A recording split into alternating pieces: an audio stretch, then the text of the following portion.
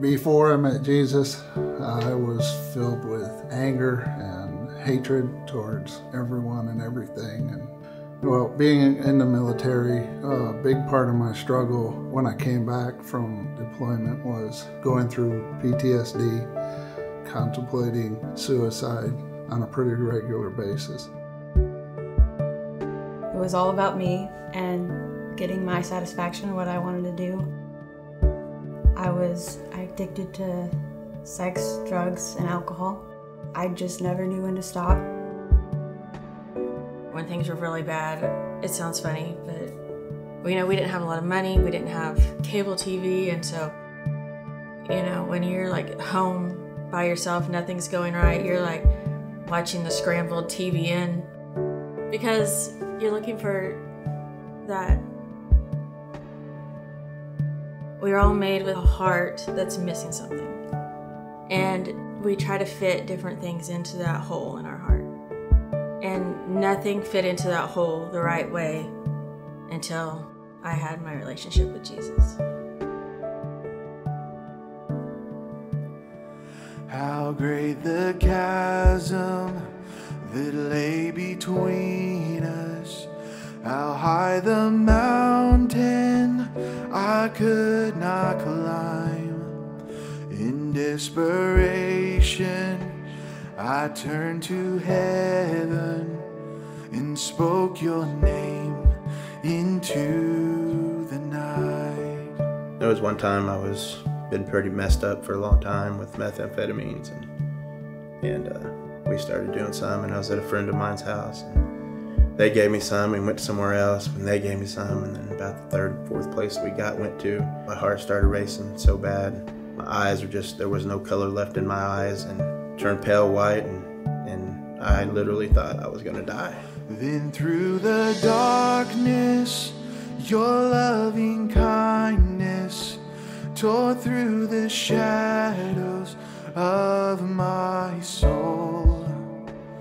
The work is finished, the end is written.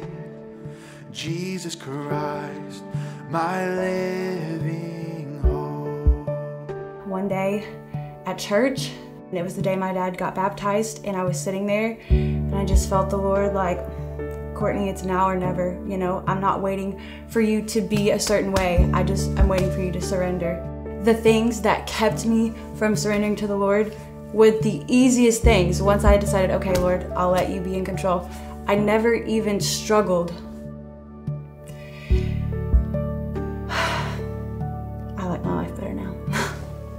Who could imagine so great a mercy? What heart could fathom such boundless grace? The God of ages stepped down from glory to wear my sin and bear my shame.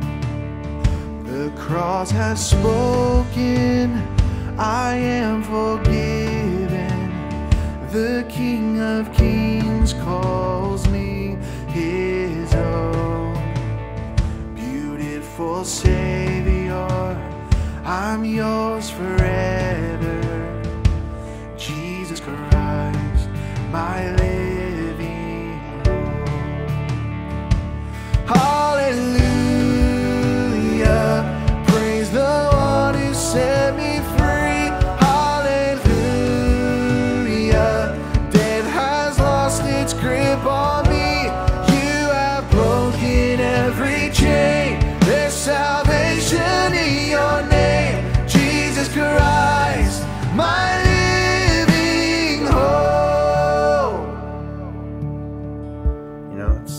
constant learning process through that giving up the drugs and giving up the alcohol and all that just became easier and uh, i was done things turned around Jesus died for my sins and for me, and I just couldn't imagine at this point not being in this walk. I found hope in Jesus. I found hope. hope Hope in Jesus. I found hope in Jesus. I found hope in Jesus. I found hope in Jesus. I found hope in Jesus.